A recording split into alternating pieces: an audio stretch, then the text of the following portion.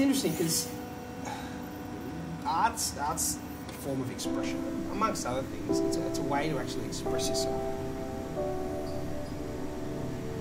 There's different languages, and one of the languages that I really appreciate and understand is modernism.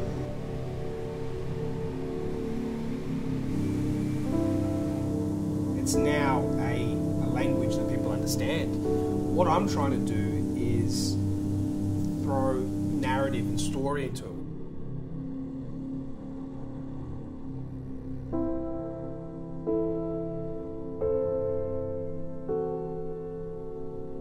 The components that are made in this factory go to mines all across the world. So can't, you can't help but rub off. I mean, if you go to, you know, if you go to bed with a dog, you wake up with fleas.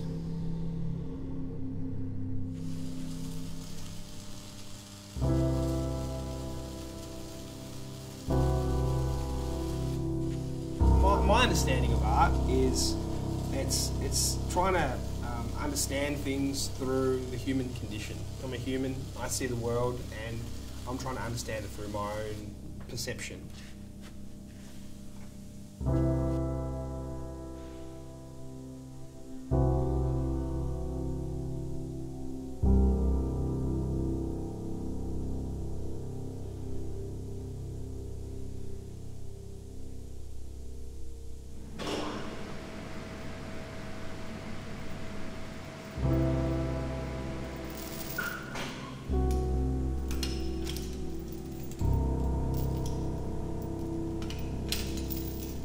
A bit old school when I like to look at a sculpture from every angle and find that it works from every single angle. I can't I can't have a sculpture that works from some angles but not all of them.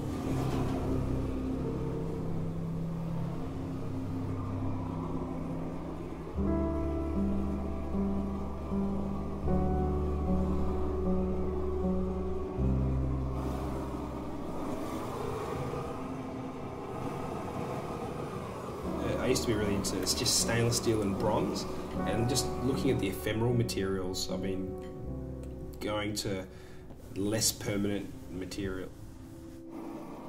It completely opposes what it means to be, you know, a white bald man. You don't make temporal structure; you make stru- structures to last forever. But I'm trying to grapple with what that actually means.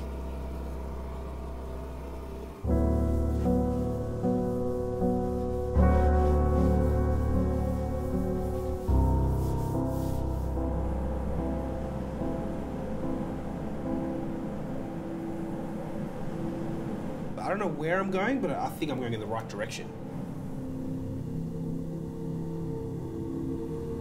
I feel like I'm about to have some sort of breakthrough.